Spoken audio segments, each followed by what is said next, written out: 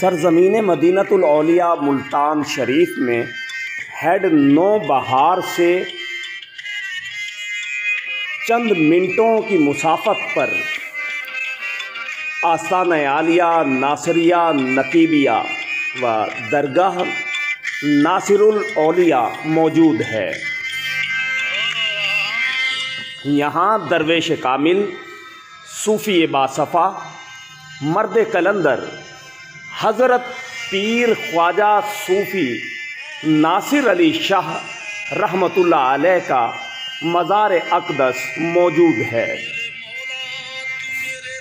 آپ رحمۃ اللہ علیہ انڈیا شیوانی گاؤں ضلع حصار میں پیدا ہوئے۔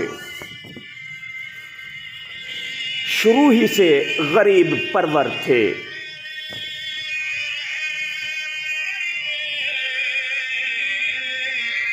وطن عزیز سے محبت کی خاطر فوج میں اپنی خدمات پیش کیں اور ترقی کرتے ہوئے صوبہ دار بلوچ ریجیمنٹ فائز رہے۔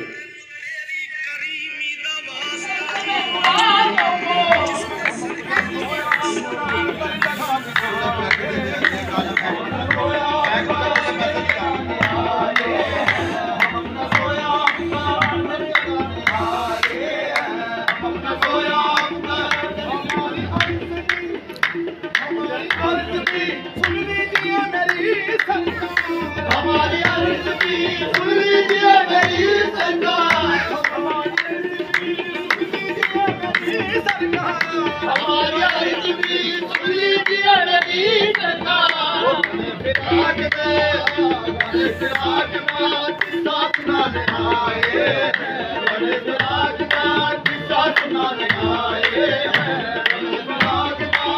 سپل نا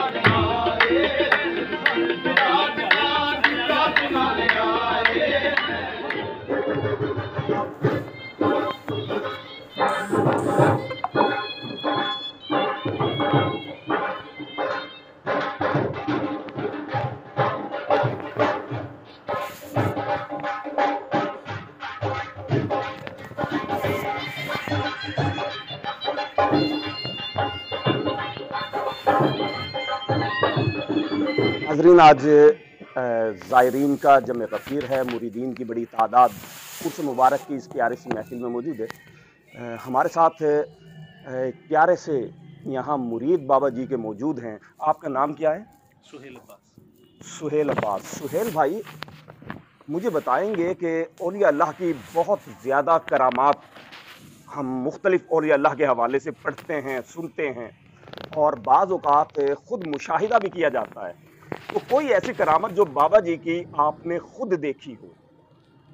جی یوں تو بابا جی کی بے تحاشا کرامات ہیں جو ہم ان کے ہم چشم دید گواہ ہیں، جس میں سب سے بڑی کرامت میں یہ کہتا ہوتا ہوں کہ سرکار نے اپنے رنگ میں رنگا لوگوں کو، اور جو تصور شیخ کی تعلیم دی، وہ آج عملی طور پہ، ظاہری طور پہ نظر بھی آتی ہے۔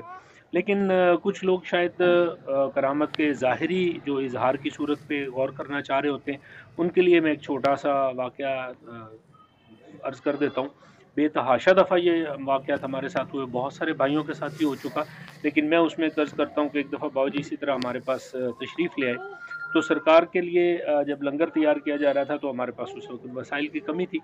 تو اپنی استطاعت کے مطابق مجھے اس وقت یاد ہے کہ آدھا کلو گوشت اور آدھا کلو آلو سے ہم نے سالن بنایا۔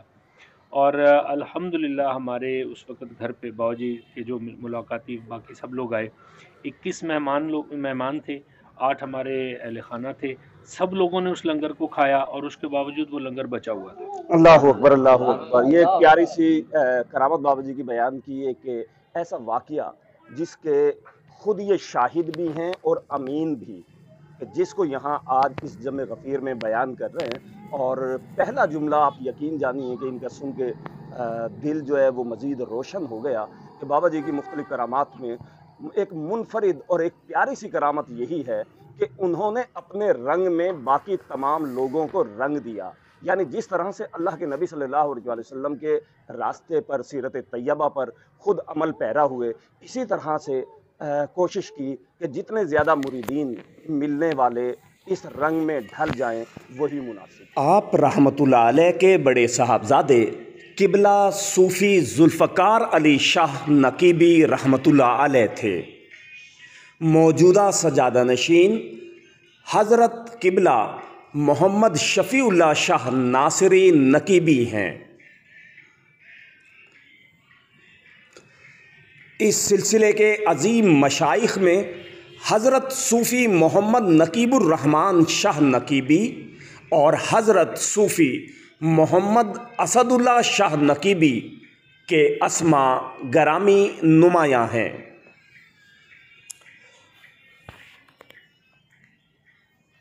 درگاہ میں زائرین اکثر روحانی فیض کے لیے حاضری دیتے ہیں۔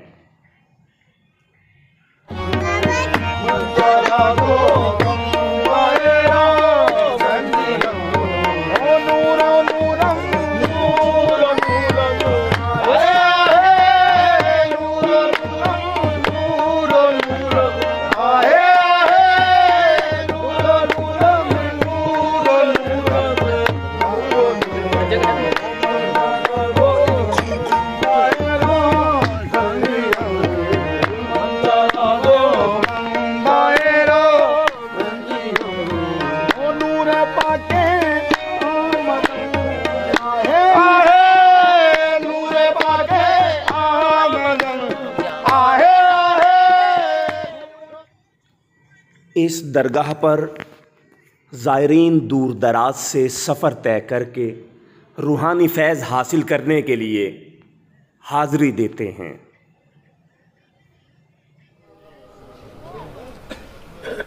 میرا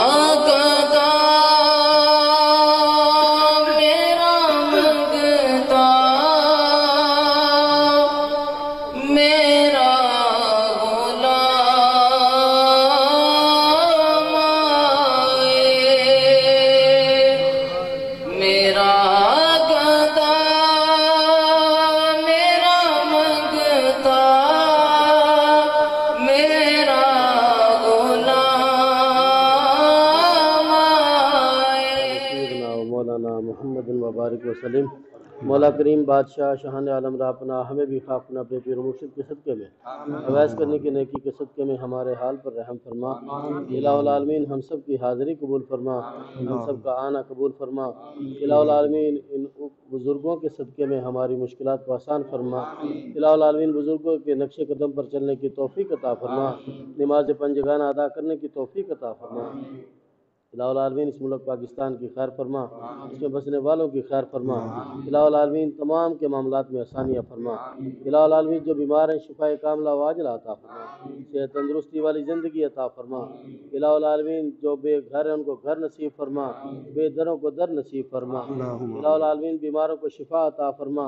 بے رزقوں کو حلال رزق اپنی جناب سے عطا فرما۔ الہ العالمین بے ہدایتوں کو ہدایت عطا فرما۔ ایک دن الصراط المستقیم کی سمجھ عطا فرما۔ ایک دن الصراط المستقیم پر چلنے کی توفیق عطا فرما۔ دافع البلائی والوبائی والقحطی والمرض والعلم لا الہ الا اللہ محمد رسول اللہ صلی اللہ علیہ وآلہ وسلم۔ صلی اللہ علیہ وآلہ وسلم۔ بابا جی آج عرس مبارک پر ہم یہاں موجود ہیں اور میں دیکھ رہا ہوں کہ لوگ زائرین دور دراز سے سفر طے کر کے آج یہاں فیوز و برکات حاصل کرنے کے لیے یہاں حاضر ہوئے ہیں۔ آج کا دور جو نفس و نفسی کا دور ہے اور ہر گھر میں پریشانی ہے، ہر شخص پریشان ہے، تو اولیاء اللہ کے دربار پر آ کر آخر وہ کون سی چیز میسر آتی ہے کہ لوگ اپنا سب کچھ چھوڑ کر اولیاء اللہ کے دربار پر حاضر ہوتے ہیں؟ دیکھیں، بسم اللہ الرحمن الرحیم، سب سے پہلے تو یہ بات ہے کہ یہ اولیاء اللہ کا مطلب جو ہے وہ اللہ کے دوست ہیں۔ جو ایک بڑے افسر کے ساتھ دوستی کرتا ہے تو اس کے جتنے بھی نیچے طبقے والے لوگ ہوتے ہیں، ان کا سب کا ایک کنیکشن سب کے ساتھ جڑ جاتا ہے۔ ایک بڑی پوسٹ والے کے ساتھ ایک آدمی سوچ رکھتا ہے کہ میرا اس کے ساتھ کنیکشن ہو، میرا اس کے ساتھ تعلق ہو، تو انسان سوچتا ہے کہ ہماری فلاں بندے کے ساتھ دوستی ہے تو ہمارے تعلقات بہت وسیع ہیں۔ اسی طریقے سے جب اولیاء اللہ یعنی کہ اللہ کے دوست کے ساتھ آپ کا تعلق جڑ جاتا ہے تو آپ کی تمام مشکلات آسانی آپ کو نظر آنا شروع ہو جاتی ہیں۔ اور جب اولیاء اللہ کے درباروں پہ جو لوگ جاتے ہیں، اگر وہ خالص تر نیت لے کر جائیں کہ یا اللہ ان بزرگوں کے صدقے سے ہماری مشکلات کو آسان فرما اور ہمارے معاملات میں آسانیاں فرما، تو اللہ تعالیٰ اپنے دوست کی بات کو کبھی بھی رد نہیں کرتے اور ان کے وسیلے سے، ان کے تعلق سے انسان کی بخشش کا وسیلہ بھی بن جاتا ہے اور ان کے مسائل میں آسانی بھی پیدا ہونا شروع ہو جاتی ہے۔ تو اس وجہ سے لوگوں کا جو جمع غفیر، جو بزرگان دین کے اولیاء کرام کے مزارات پہ ہر وقت لگا رہتا ہے، اس کی سب سے بہترین ایک بات یہ ہوتی ہے کہ وہ لوگ اللہ کی رضا کے لیے ان لوگوں نے اپنا وقت گزارا اور جو لوگ اللہ کی رضا کے لیے ان کے درباروں پہ حاضری کے لیے آئیں گے، ان زائرین کی تمام مشکلات بھی آسان ہوتی ہیں اور ان کے معاملات میں اللہ تعالیٰ آسانیاں بھی پیدا فرماتے ہیں۔ عرس مبارک کی آج کی اس بابرکت تقریب میں آپ عالم اسلام کو کیا پیغام دینا چاہیں گے؟ عالم اسلام کے لیے ایک بہترین پیغام ہے اور ہم سب کے لیے ایک بہترین سبق ہے کہ جیسے ان اولیاء کرام نے اپنے رب کے حضور اللہ کی عبادت کر کے اور رسول اللہ صلی اللہ علیہ وسلم کی تعلیم کو عام کیا اور ان کی تعلیم پر، ان کے نقش قدم پر، ان کی سنتوں کے مطابق عمل کرتے ہوئے زندگی کو جو گزارنے کی جو کوششیں کی، تو ہم سب کو ان بزرگوں کی تعلیمات پر عمل کرنے کی کوشش کرنی چاہیے۔ جو سرکار کی تعلیم ہے، سرکار دو عالم صلی اللہ علیہ وسلم کی جو تعلیم ہے ان کی تعلیم کے مطابق ہمیں اپنے آپ کو ڈھالنا چاہیے۔ ان بزرگان دین نے بہت لمبی مسافت جو ہے وہ طے کی ہے۔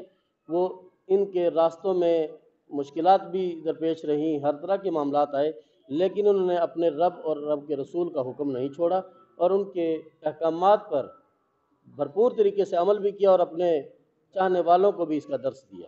تو ہم سب کو اللہ تعالیٰ توفیق بھی عطا فرمائے اور ہمیں کوشش کرنی چاہیے کہ ہم اپنے رب کے حضور اپنے پیارے محبوب کے حضور سرخرو ہونے کے لیے اپنے بزرگان دین کی تعلیمات پر عمل کریں۔ نبی کا غلام جہاں سے گزر گیا بگڑا ہوا وہاں کا مقدر سمر گیا اور بٹتی ہے اس کے مزار پاک سے زندگی عشق مصطفیٰ میں جو جان سے گزر گیا۔ سرزمین مدینہ العلیہ ملتان شریف سے اپنے میزبان عابد ساہر کو اجازت دیجیے اللہ نگہبان۔